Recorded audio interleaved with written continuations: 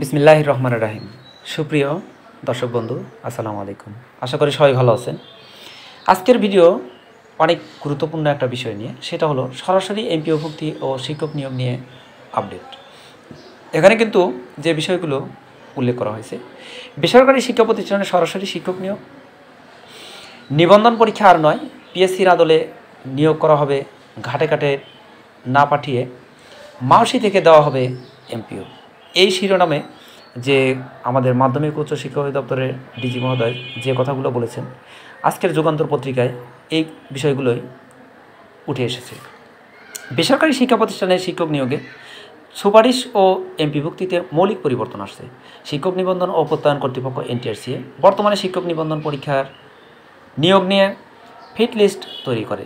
পরবর্তী সময়ে শিক্ষা প্রতিষ্ঠান থেকে শূন্য পদের চাহিদা নিয়ে এ তালিকা থেকে প্রার্থী চূড়ান্ত করে দেয়। এরপর শিক্ষা প্রতিষ্ঠান তাদের নিয়োগ দেয়। কিন্তু এতে নানা ধরনের জটিলতা তৈরি হচ্ছে। এ কারণে এর পরিবর্তে সরকারি কমিশনের, অর্থাৎ পিএইচসির মতো কেবল শূন্য পদের আগাম চাহিদা নিয়ে প্রার্থী নিয়োগের চূড়ান্ত সুপারিশ করবে এই সংস্থাটি। অন্যদিকে, নিয়োগপ্রাপ্ত সব প্রার্থী সরাসরি মাধ্যমিক ও উচ্চশিক্ষা অধিদপ্তর মাওসি এমপিভুক্ত করবে। বর্তমানে তাদেরকে শিক্ষা প্রতিষ্ঠানের শিক্ষা প্রতিষ্ঠান প্রধানদের মাধ্যমে আবেদনের পর চারটি স্তর পার করে এমপিভুক্ত হতে হয়। আর এটা করতে গিয়ে ঘাটে ঘাটে ঘুষ ঢালতে হয় বলে অভিযোগ উঠে এসেছে। সংশ্লিষ্টরা বা সংশ্লিষ্ট সূত্রগুলো জানিয়েছে, উল্লেখিত নয়া বিধান প্রবর্তনের লক্ষ্যে এনটিআরসি এর আইনের সংশোধন আনা হচ্ছে। এতে শিক্ষক নিবন্ধন পরীক্ষা বাতিল ও নিয়োগ পরীক্ষার মাধ্যমে শূন্য পদে নিয়োগের চিন্তা করা হচ্ছে। পাশাপাশি সংস্থাটির নামও পরিবর্তন আসছে। নতুন নামের চিন্তাভাবনা করা হয়েছে, যেখানে বেসরকারি শিক্ষক নির্বাচন কমিশন। জানতে চাইলে শিক্ষা মন্ত্রণালয়ের মাধ্যমিক উচ্চশিক্ষা বিভাগের অতিরিক্ত সচিব চাবিসিম অবসরে গেছেন, যে ফৌজিয়া জাফরিন বলেন, এনটিআরসি এর জন্য একটি, এনটিএসসি এর জন্য একটি খসড়া আইন তৈরি করতে এনটিআরসিকে নির্দেশ দেওয়া হয়েছে। সেটি এ মাসের মধ্যে পাঠানোর কথা আছে। এটি করা গেলে সরাসরি শিক্ষক ও এমপিওভুক্ত প্রথা প্রবর্তন করা যাবে। নতুন পদ্ধতি চালুর আগে অংশীজনের মতামত নেওয়ার সিদ্ধান্ত নেওয়া হয়েছে। অর্থাৎ এখানে অলরেডি কিন্তু যে খসড়া প্রণয়নের কাজটা হয়েছে এবং খসড়াটা অলরেডি গত আমরা একটি প্রতিবেদনে কিন্তু এই বিষয়টা দেখেছিলাম এখানে আরও যে বিষয়গুলো এসেছে, যে এনটিআরসি এর আইন সংশোধনের কাজ অনেক দূর এগিয়েছে, ইতিমধ্যে সংস্থাটির একাধিক সভাও হয়েছে। এরই ভিত্তিতে আইন সংশোধন করে একটি খসড়া শিক্ষা মন্ত্রণালয়ে পাঠানোর প্রস্তুতি চলছে। প্রস্তাবে পিএসসির আদলে এনটিআর এনটিএসসি তৈরির কথা আছে। বর্তমান কাঠামোর আদলেই জনপ্রশাসনের একজন অতিরিক্ত সচিব এর চেয়ারম্যান হবেন। এছাড়া পাঁচজন যুগ্ম সচিবের সদস্য করার কথা আছে। যদিও পরীক্ষা গ্রহণ ও ফল প্রকাশের মতো বিষয়ে বিশেষায়িত কাজ থাকায় চেয়ারম্যান ও সদস্য পদে শিক্ষকদের বসানোর পথও খোলা রাখার পরামর্শ দিয়েছেন শিক্ষক নেতারা। কেননা, পরীক্ষা নেওয়া আর ফলাফল তৈরি শিক্ষকরাই অভ্যস্ত।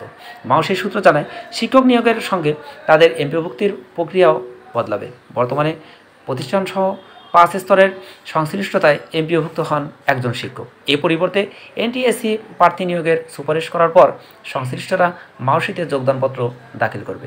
এরপর তাদের এমপিওভুক্তির নির্দেশনা জারি করা হবে। কোনো ঘাটে যেতে হবে না।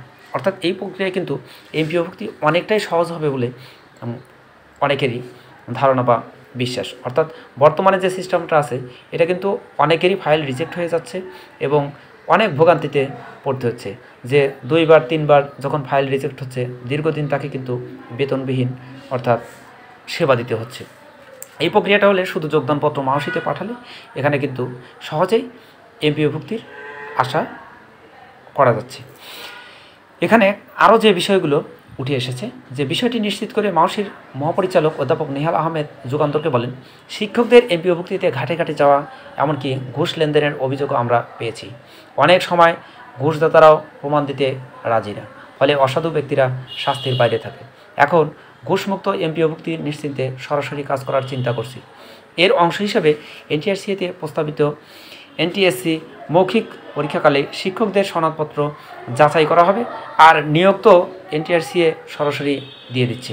ফলে সনদপত্র যাচাইয়ের কাজ যেহেতু থাকছে না, তাই সরাসরি মাউসি থেকে এমপিও দিতে আর সমস্যা নেই। অর্থাৎ সরাসরি কিন্তু যেহেতু এনটিএসসি নিয়োগ দিবেন, নিয়োগ হওয়ার পরেই কিন্তু প্রার্থী যোগদানের পরে তার যোগদান, অর্থাৎ জয়নিং লেটারটা মাহসিতে পাঠালে খুব সহজেই একজন প্রার্থী এমপি ভুক্তি বা তার বেতন চালু করতে পারবেন।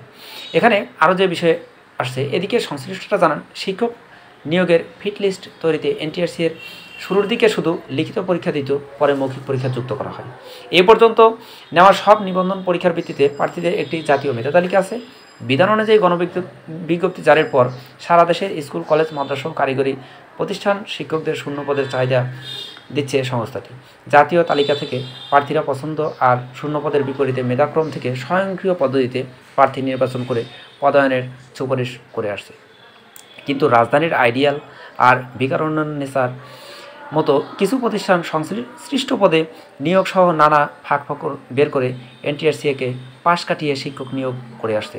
নিয়োগের শৃঙ্খলা প্রতিষ্ঠার স্বার্থে প্রস্তাবিত আইনে এ ধরনের স্বেচ্ছাচারিতা বন্ধে দিক অন্তর্ভুক্ত করার মতামত দিয়েছে সংশ্লিষ্টরা।